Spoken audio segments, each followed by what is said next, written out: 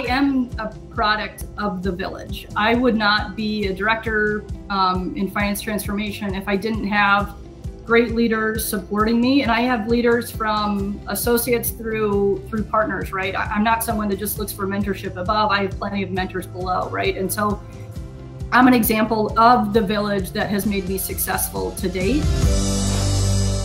How do you look at it and whether it's your team or others in your family we've heard a lot of people saying it takes a village one of the things that I, you know, I've had to relinquish control and say, no, I can't do it by myself. I got to let other people into this and the way that it's going to be done really well. How do you do that? How do you see that happening both within your family and how do you do that with your team?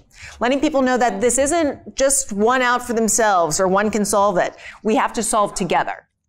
I also think a little bit about paying it forward to all the people that have invested in me, right? My first day at PwC, I had I had lunch with a partner. I'll never forget that discussion, right, about being an advocate for yourself, you know, trusting trusting your own intuition and things like that. And so even on my first day, I felt like the village was me plus one other person.